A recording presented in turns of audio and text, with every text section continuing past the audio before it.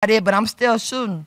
I think I look good. I think you're you're close there. Nah, you gotta put that one to rest, I'm bro. No, not- no, no. We gotta get it right. They ain't Come shit on, for the we gotta husbands, stop- just- no, Ha- I'm happy high as a wife. motherfucker. we need something for the husbands. We you know we have very little, so you know we're used to not having this line. You know Yeah, Yeah. yeah, we got Father's Day and our mm. birthday.